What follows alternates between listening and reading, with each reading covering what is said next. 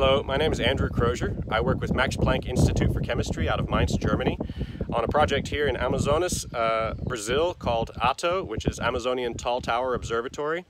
Uh, we do climatic research, uh, basically about the interactions between the forest and the atmosphere. Gases and particles are measured here in the laboratories below. Um, a lot of climbing on this tower and uh, safety is a big uh, uh, concern of course and uh, these radios from Ritron I've installed every 100 meters on this tower and I just wanted to give a quick thank you to all of you at Ritron for these wonderful products. I've been really impressed with them.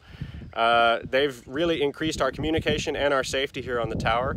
Uh, we, uh, in addition to the four installed on this tower, uh, including the base of the tower, we also have one at our base camp and several handheld radios, which are all on the same frequency. And they have all just done spectacularly in this, in this really tough climate, very high humidity, a lot of heat.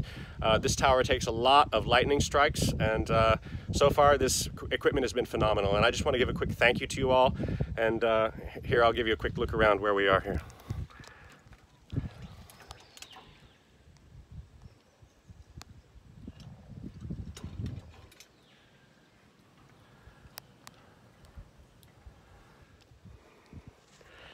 Nothing but forest here. It's the best office one could work, one could uh, hope to work in.